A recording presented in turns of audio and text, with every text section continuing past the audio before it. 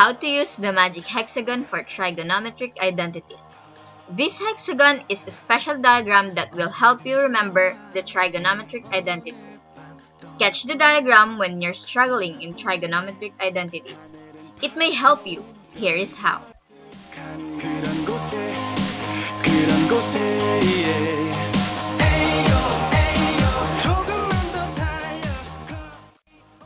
Now, let's start with the quotient identities.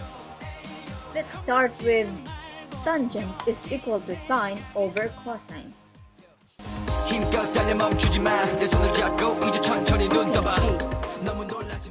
There are two ways in finding the quotient identities. We have the counterclockwise and the clockwise rotation.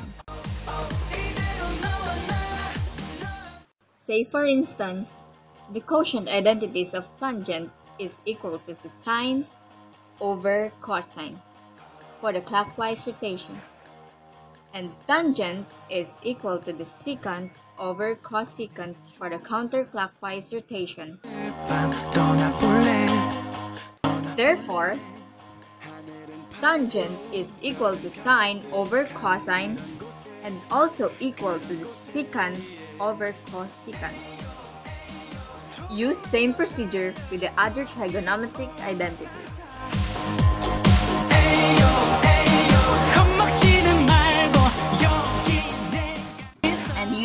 Clockwise rotation, we have tangent is equal to sine over cosine, sine is equal to cosine over cotangent, cosine is equal to cotangent over cosecant, cotangent is equal to cosecant over secant, cosecant is equal to secant over tangent, and last we have secant is equal to tangent over sine. And in counterclockwise rotation, we have cosine is equal to sine over tangent, sine is equal to tangent over secant, tangent is equal to secant over cosecant, secant is equal to cosecant over cotangent, cosecant is equal to cotangent over cosine, and last we have cotangent is equal to cosine over sine. We also have the product identities.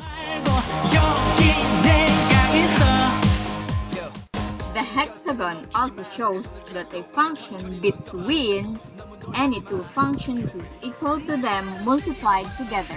For example, sine is between tangent and cosine. Multiplying together the tangent and the cosine, we obtain the product identity of sine. Therefore, sine is equal to tangent times cosine example is the cotangent is in between cosine and cosecant. Multiplying together, we obtain the product identity of cotangent. For cotangent is equal to cosine times cosecant. Therefore, cotangent is equal to cosine times cosecant.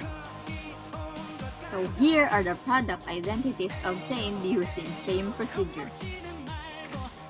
Sine is equal to cosine times tangent. Tangent is equal to sine times secant. Secant is equal to tangent times cosecant. Cosecant is equal to secant times cotangent. Cotangent is equal to cosecant times cosine. And last, cosine is equal to cotangent times sine If there's more. You can also get the reciprocal identities by going through the one.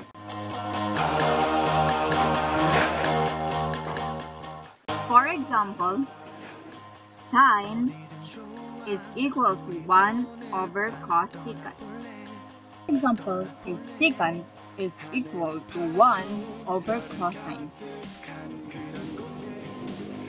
So here are the following reciprocal identities obtained using the same procedure. Sine is equal to 1 over cosecant.